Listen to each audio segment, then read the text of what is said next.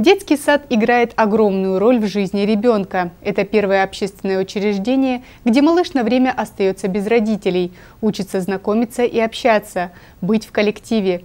И чтобы становление маленького человека успешно состоялось, необходимо создать достойные условия.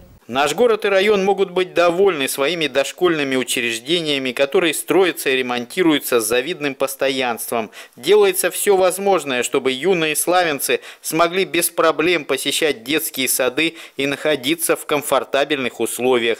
Трудно переоценить и роль сотрудников дошкольных образовательных учреждений.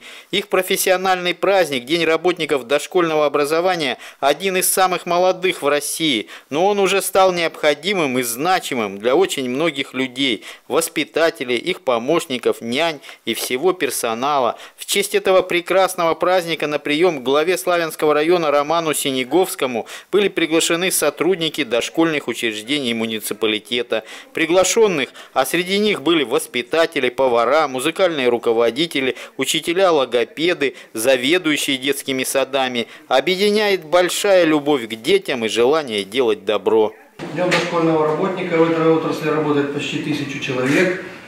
Мы вам доверяем самое ценное, что у нас есть, это наши дети. И первое, наверное, первые шаги вот, э, воспитания они получают, конечно, в детских садах. Но развитие ребенка, его, наверное, понимание мира, восприятие мира, э, все зависит от вас. И музыкальные занятия, и всякие творческие занятия. За это вам большое спасибо. Э, хотелось бы, чтобы у вас тоже все было в жизни хорошо. Каждая из участниц приема была представлена, все узнали об их профессиональной деятельности, успехах, чертах характера и увлечениях. О каждой из них можно долго говорить, не жалея самых высоких слов. Самое главное, вы люди большой души, огромного сердца. И вот самое главное у вас – это любовь к детям. Если, там не задерживаются люди, кто не любит детей. И с таким терпением, как у вас, наверное, позавидуешь. Поэтому надо все это вынести. Огромный низкий поклон за ваш труд. Всего вам самого доброго, здоровья, удачи. Представители дошкольных учреждений образования чувствуют внимание и заботу руководства муниципалитета о своих нуждах, и они сказали об этом на мероприятии. Мы вас очень благодарим за ваше понимание. Вот это очень много значит, что мы работаем вместе, и вы понимаете все наши проблемы мы стараемся создать и комфорт, и психологический комфорт для своих сотрудников, и прежде всего для детей. Это и второй дом. И мы вам благодарны, что вы понимаете, что наши проблемы и ваши проблемы, и решаете нас э, эти проблемы. Спасибо вам большое. Затем состоялось награждение, благодарственные письма за большой вклад в развитие дошкольного образования и в честь профессионального праздника, а также памятные подарки были вручены всем приглашенным. Мне очень приятно, что нас пригласили сегодня на мероприятие, посвященное нашему профессиональному празднику, Дню дошкольного работника. В честь нас устроили такое интересное мероприятие. Я работаю музыкальным руководителем в детском саду. Это очень важная, неотъемлемая часть развития ребенка, музыкальное творчество.